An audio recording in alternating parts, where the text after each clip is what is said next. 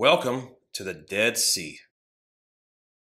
Just like the Sea of Galilee that I reviewed in a previous video, the Dead Sea is not technically a sea, it's a lake.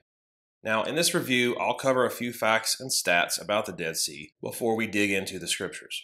It's called the Dead Sea because nothing can live in the water due to its salinity. The amount of salt in the water is 33% and is one of the world's saltiest bodies of water.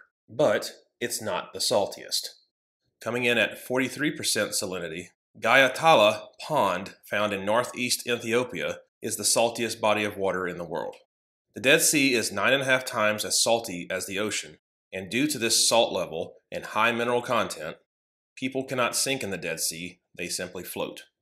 Now, I wasn't planning on getting in the water, but even though she was several thousand miles away at home, my wife convinced me to jump in, basically telling me if you're there, then just do it. So here I am in the Dead Sea. And yes, if I look uncomfortable, I am. I almost drowned twice when I was a kid, so I'm not the biggest fan of being in any type of water. The surface of the Dead Sea is 1,400 feet below sea level, making its shores the lowest naturally occurring place below sea level on Earth. It is approximately 1,000 feet deep, which makes it the deepest salty lake as well. Today, the Dead Sea has been shrinking because waters are evaporating faster than the Jordan River can replenish. Since the 1980s, it has lost 30% of its area. So, what is the fate of this salty sea? Will it evaporate and never be seen again? Not according to the Word of God. The Dead Sea is mentioned 16 times in the Bible, primarily to describe the eastern borders of the Promised Land. In some translations, it's referred to as the Salt Sea in Genesis 14:3, and the Eastern Sea in Ezekiel 47:18. In Deuteronomy 3:17, it's called the Sea of Arabah. The two exceptions I found that were not talking about land boundaries are found in Ezekiel and Zechariah.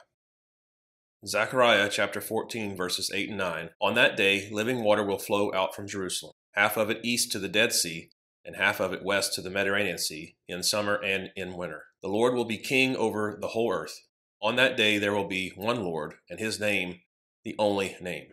And in Ezekiel chapter 47, verses 1 and verses 8 and 9 says, The man brought me back to the entrance to the temple, and I saw water coming out from under the threshold of the temple toward the east. He said to me, This water flows toward the eastern region and goes down into the Arabah, where it enters the Dead Sea. When it empties into the sea, the salty water there becomes fresh. Swarms of living creatures will live wherever the river flows. There will be large numbers of fish because this water flows there and makes the salt water fresh. So where the river flows, everything will live. Both passages are set during the future post tribulation world, where it describes a river flowing from the new temple in Jerusalem into the Dead Sea, and specifically in Ezekiel, turning it from a salty sea into fresh water.